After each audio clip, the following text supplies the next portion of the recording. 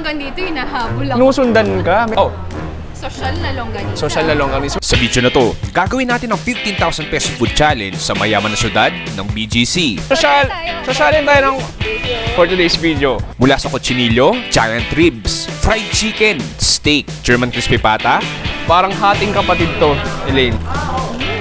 Kahit sa isang 1 meter na sosyal na longganisa. One meter, look at that. Kakain tayo sa tatlong sikat na kainan sa BGC. Pero grabe, may igaganda ka pa pala.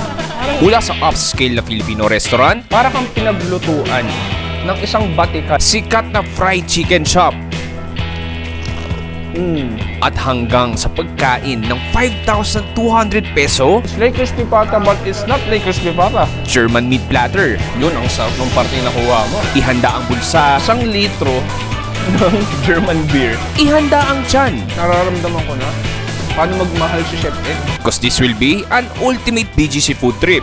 Ready ka na ba? BGC or Bonifacio Global City is a 240 hectare mixed-use estate located in the heart of Taguig City. Patataas na gusali, mga busy na empleyado ng opisina, and a lot of branded establishments ang matatanaw mo rito. Pero kung saan maraming tao, ay marami rin daw kainan. Kaya may tuturing din to bilang isang food hotspot ng Metro Manila. Pero ano nga ba talagang BGC food? Alam nyo, ang BGC, may ano yan eh, may misconception na mahal dyan, medyo saucy yung mga restaurant dyan. Mahahanap mo ang lahat ng gusto mo makainan dito sa BGC. Gusto mo ng ano, very affordable, gusto mo ng tambayan after work, gusto mo may inuman na medyo relax. Meron, meron yan dito, you just have to know where to look. Meron dyan mga lugawan, meron dyan mga parisan pa nga. Meron tulad yung sa amin nga, we have fried chicken and drinks that you can partake of after work. Huwag kang matakot, huwag kang ma-intimidate. At saka, kaya lakarin ng BGC. That's one of the few walking cities dito sa Manila. No? So pag nilakad mo yan, makikita mo sa mga ilalim ng mga building, meron, uy, ano to?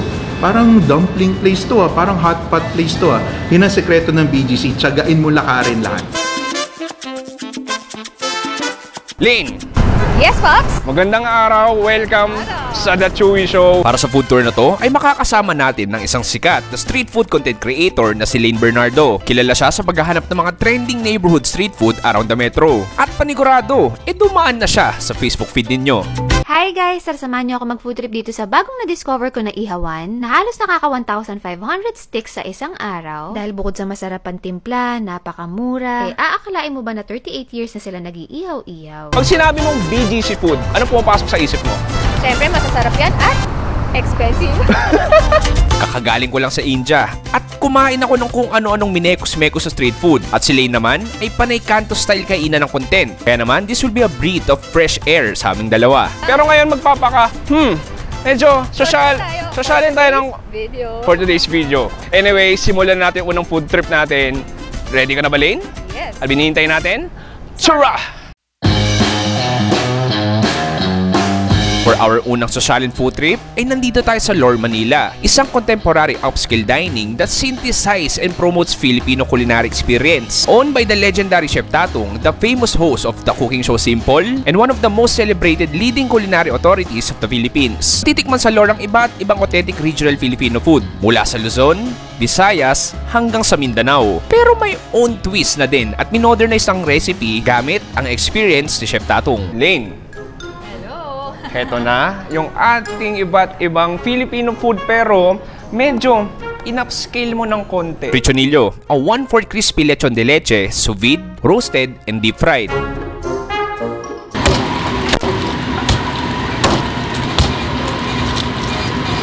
So ito din, itsura niya, alam mo tutuusin, mukha siyang Max Fried Chicken. Di ba kala mo na manok na eh? Pero tutuusin, kutsinilyo siya. Ayan, so kunin ko tong leg, I think ito yung paa ata. Anyway, unang kagat, cheers. Hmm. Okay. Pork to? Pork yan.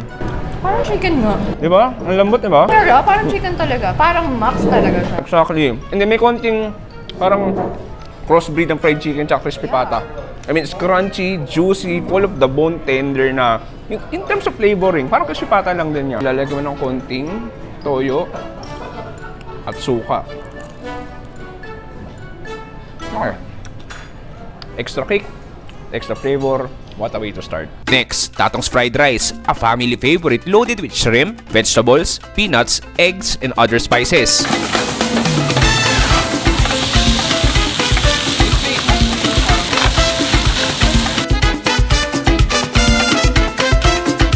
Cheers. Medyo kakaiba. Parang ma-turmeric and then meron kasi itong like yung palapa. Yun yung parang maranaw spice na may konting bawang flavor, may konting spice flavor. And then yung kanin natin medyo mushy na sticky na siya. Then, basically para siyang seafood ano eh, no? Seafood rice. May alamang din ako nalalasahan. Parang ito yung kanin na bawal isang kagat lang. Kailangan talaga eh, tuloy-tuloy. Kanin palang ulam na. Kanin, ang galing. Kanin pa lang, ulam na. For kinamatisan has an abundant of thick, crispy pork belly topped with a special tomato puree. Okay, next natin ito yung pork. Kinamatisan. Oh, ang galing. Okay. Kanina kami nagpa-practice, lang namin na perfect. Merong like huge chunks of bagnet. And then, di ko alam kung paano kinakain to. Di ko alam kung pwede mo siya like go i-dip. Tapos, ayan din. Kakamayin ko na. Ay, sige lang. O, sige, arte pa. Ikaw, kinamay mo ako. Hindi ko kakamayin.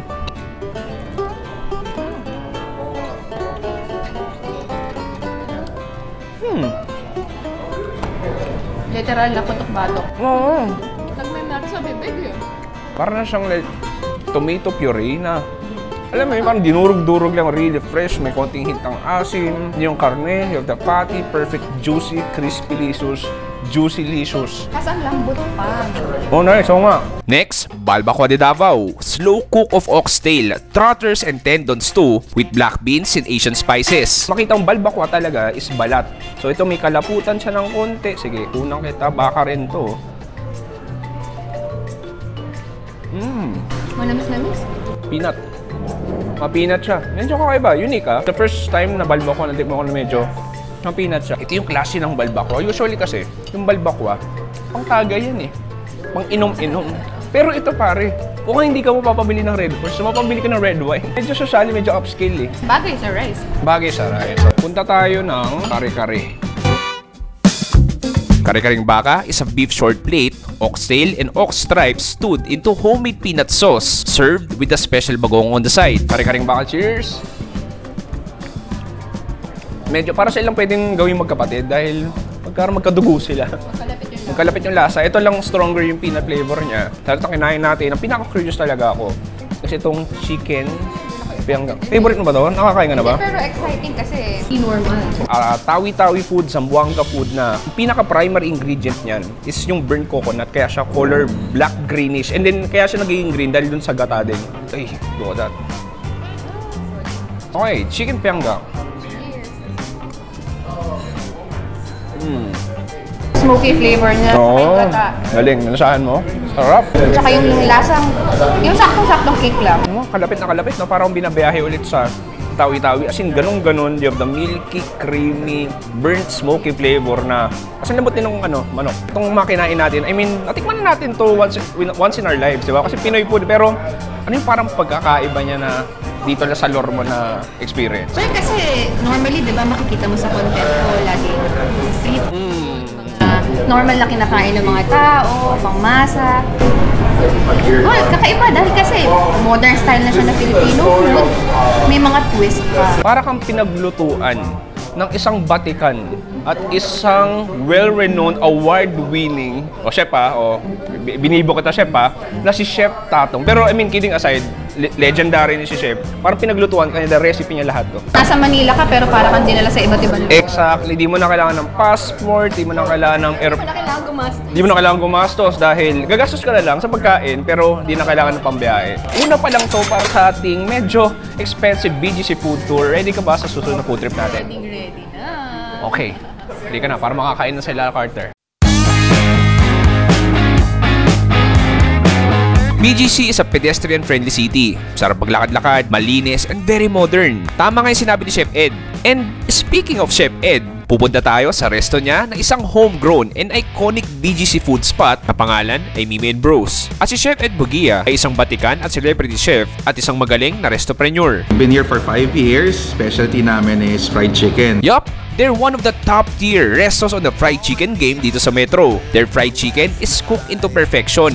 The frying temperature is a key essence on cooking. And another not so secret is their brining solution. Ang pag-brine ay ang pagbabad nila ng manok overnight sa isang water solution with salt, sugar, and other secret spices. Para hindi lang sa labas ang malasa, pero kundi maging sa loob. Um, even if yung bestseller namin is fried chicken, marami kami iba't iba pang offering sa menu. At bukod sa pagkain, they are serving premium yet affordable cocktails na may enjoy ng mga tropa.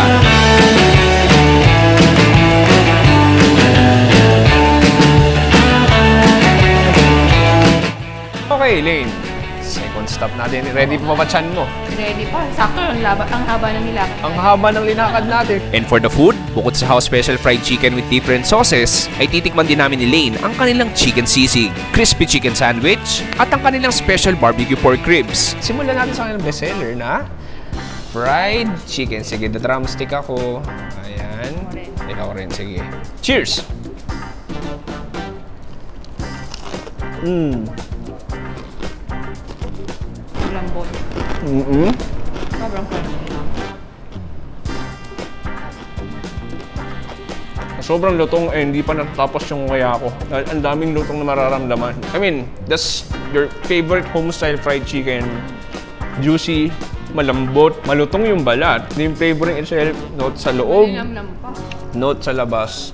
Nice. Perfect. It's been a long time. Pero, ang catch dyan, eh, bukod sa kanilang fried chicken, meron nakapalibot na iba't ibang sauces. So sa akin, yung fiery hot sauce sa'yo is truffle. Truffle. Okay, dip natin. Parang ang dami kong nalagay. Parang... anyway, cheers tayo! Cheers. Kumusta sa'yo? Sarap, creamy. Tsaka strong yung lasa ng mushroom.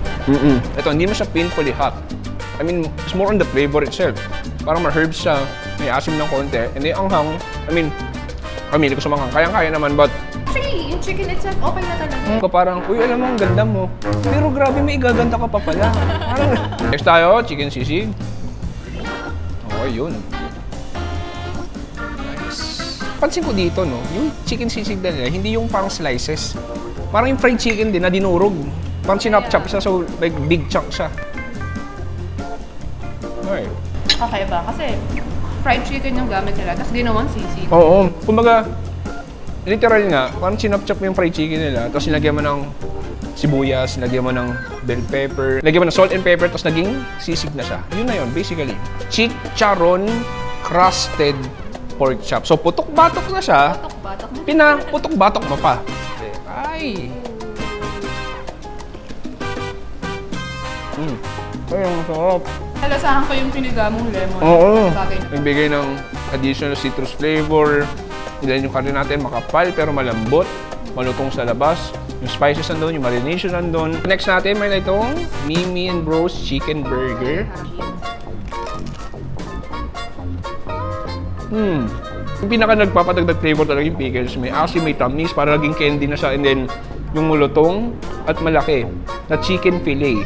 At meron siyang parang certain sauce na hindi ko masabi. Ito yung restaurant na parang, hmm, gusto mo lang makapagkwentuhan, gusto mo lang mag-catch up, Tamang chill. tamang chill, pero maganda dun. Hindi gaano kamahalan yung pagkain, di ba? Okay, huling pagkain natin ito yung baby back ribs. Sikat din daw to. I mean, may fried chicken sila, pero isa sa bestseller nila. Kita mo yung buong ribs na to, eh, parang galing sa Flintstones na sobrang laki at linuto ng isang batikang chef. Sige, gawin ko, Lane. Sige, kuha kita dito. Ang lambot. Actually, kahit di ka na mag-ano eh. Kahit di ka na mag-knife eh. Naghihiwalay agad. Oo eh. Yun, grabe. Parang mataba yung nakuha mo ah. Mm. Nararamdaman ko na paano magmahal si Chef Ed. Parang sana ako na lang si Trixie na asawa niya na pinaglulutuan niya ako ng ganito. Ang lambot, kahit lola na walang ngipin. Kaya yung Sobrang lambot niya, di ba? Tsaka yung flavor niya. So, mm smoky sweet barbecue flavor pero yung pinaka nagdala talaga yung karning napakalambot. Tapos pansin mo, parang habang umungaya ka, habang natutunaw sa dila mo, eh may konting taba na nararamdaman ka. Kakadalawa na tayo, pero hindi pa natatapos yung ating ultimate BGC food tour dahil meron pa tayong pupuntahan na isang German restaurant. Yes, German. Hindi ko alam anong German words eh. So, sasabihin ko na lang, Tara! And for our main event, we will go for a German meat feast sa isang legendary German resto sa BGC. This is Brotzeit. Brotzeit in German means bread time or parang hearty snack. Isa rin sila sa mga OG BGC food icons. People go here for some amazing hangout time, chugging some German beers, and eating insane amount of food. Lane, heto na yung ating German meat platter.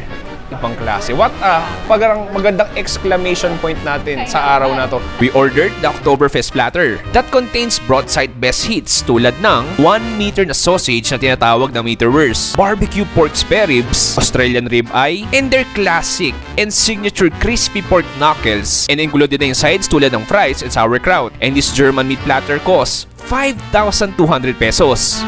From our right side, meron tayo ditong steak na may like parang ah, gravy or sauce. Meron tayo ditong ribs na may coleslaw.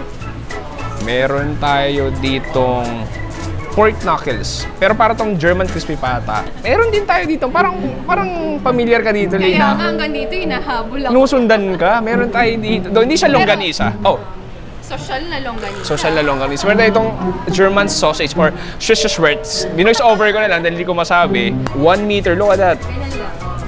Tawag ko na lang dito, social na longganisa. social na longganisa. Eto na, 1 meter to pwede ka mamigay sa iba. Cheers tayo! Mm, Type ko yung pagiging salty niya tsaka peppery niya. ang sarap. Parang tong like, it's been marinated for how many hours and then all of the spices and then yung laman niya. Maguguluhan ko if like there's a fatty texture, kinda chewy din parang may konting bounce and then yung labas may lutong na balat na hindi mo masabi but May mga taba-taba pa. Oh, this is a flavor bomb sa bibig. Next natin, punta tayo sa kanilang steak. Okay. So, parang may sauce, may gravy na rin yan. Ibang klase. Kumbaga, medyo, ano yung gusto ko sa steak eh? Yung medyo mapula-pula pa siya. Medyo may hilaw pa na. Lasang lasa yung pagkakarne niya. It's juicy. Tsaka malambot. Malambot, may parang may juices pang lumalabas habang kinakagat mo. And then yung sauce natin, parang siyang gravy-like na hindi ko alam kung may truffle nga rin ba yun na ma-pepper. Bukod dyan, meron din tayong mga sides dito. Creamy, creamy to. Tapos may pagka-buttery din siya. Fries nila, I mean, is a potato wedge na makapal yung pinaka-potato na feeling niya. Merong nagbigay sa akin dito na parang magkaka-biceps ako. Isang litro ng German beer. Mm, solid yan. Parang feel ko ito yung perfect habang nanonood ka ng NBA o kaya ng kahit anong liga. Kahit liga sa kanto. Tapos ganito yung klase yung beer mo, di ba? Medyo may mag-aaway mamaya. Okay na rin. Yung beer niya medyo nasa tapang side eh. Yung medyo may pait siya. Pero parang swabe siya sa lalamunan. Hindi ka mapapa... Hindi ka mapapa ganun. Kanina nag-ribs na rin tayo. Tapos may coleslaw sa taas. Eh, madali pala madurog. Kakamayin ko na dito. Yun, ang sarap ng parte na nakuha mo. Sige, cheers tayo. pinaka parang nag-elevate nun, yung lambot niya. Tsaka yung barbecue sauce. Hindi ko alam. May anghang siyang konti. Oo nga, tama. Oo, may anghang na may sipa ng konti. Punta na tayo sa main event natin. Ito yung ating parang German crispy pata or pork knuckles sa tawag. Look at that, broiled yan. Pa, ang ganda, painting. Ayaw mong galawin na, di ba parang pag ginalaw mo ng konti yan, bigla may dadating na pulis at sabihin, sir, ba't mo sinira? Parang ganun. Sige, Lane, do the honor. Tingnan natin kung malutong. Ay, good sign. Sige, ikaw na bahala sumira. Oh, wow. Nice. Oh, nice. Ang laki. Parang hating kapatid to, Elaine. Hindi ko alam paano sisimula. Cheers tayo. Ah, ah, bahala na. Cheers. Mm. It's like crispy pata, but it's not like crispy pata. Sabi ni Chef, 3 days daw ito naka-marinate sa beer. sa beer. Medyo garlicky siya doon. Hindi siya salty. Pero definitely, the layers of the crispiness, the layers of the fattiness, yung karne, perfect proportion siya. Ang lutong. Tapos alam mo yung, siguro dahil broiled siya, iba yung lutong niya eh. Crackling talaga na parang chicharon siya. eh. Alam mo nga, pansin ko, lalo na pag weekends dito, eh, mga kumakain talaga dito, eh, yung medyo may pera talaga. Tapos, bukod doon, eh, yung mga foreigners, hindi lang siya nasa expensive side, pero it's more on kwentuhan, more on, uy, kamustahan? Tapos, Bonding with friends, no? Exactly, tagayan ng beer. At katulad natin ngayon na, first time mag-meet, pero what a way to end this feast at uh, what way to end this food trip ng isang malupitang German food trip. Ayun ang gawin natin ngayon, meron tayo ditong parang, di ko alam kung sauce ba to or what, pero ipupur ko siya dito. Lane, maraming salamat sa pagsama ngayong araw. Sana nag-enjoy ka sa BGC Food Tour na yon. Pero syempre, hindi tinatanggal yung legend. Uy, grabe ka no. Para maniwala sila. Para maniwala sa Anyway, Hindi tinatanggihan yan. maraming salamat. It's been a fun day. At sa kwentuhan, cheers!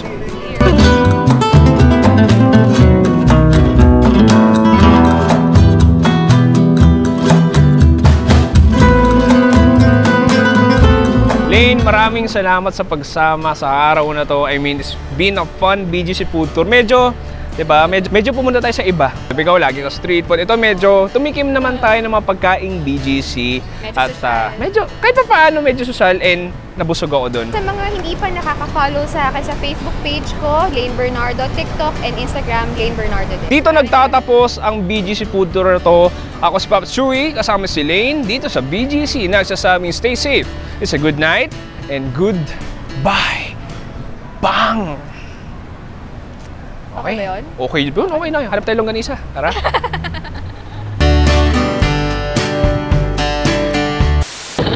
anyway. Nawala tuloy ako. Nawala yung tuloy ko. Sarah! Uy, okay yun ah. Okay yun. Ikaw na lang kaya dito para joke. Kinamitasan? Ikaw nga, ikaw na lang. Alam mo ba, kaya mo ba? Kin, nabubulol ako. Pork kinamitas. Ah! Ito ah, Mm. ah. Oh. Hindi sila nag-deep dito. Anong, anong ginagawa nila, Lane? Ayun nga, bro. Ah, broil. Ano yung broiled? Ah, boiled siya. Tsaka, basta bro. Dati ko tama yun. Sa bloopers na lang.